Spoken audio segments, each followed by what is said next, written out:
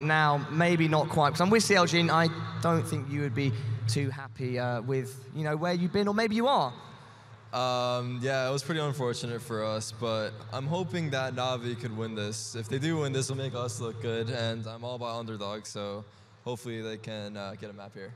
Yeah, overall, are you happy with your run? Because I know I said, oh yeah, maybe you aren't happy, uh, maybe you're disappointed to be here, but you guys did have a decent showing. You didn't look, you know, in any way, shape, or form as a, a, a bad team, like you shouldn't be here. Um, I mean, our ultimate goal was to make it out of groups, and we unfortunately couldn't do that. So it's pretty disappointing. Um, I can't say we're happy about it.